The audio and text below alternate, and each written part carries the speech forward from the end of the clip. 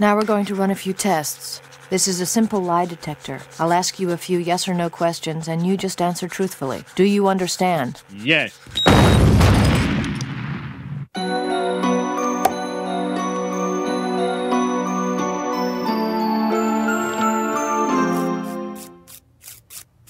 Oh. Wait a minute, Scully. What's the point of this test? No point. I just thought he could stand to lose a little weight.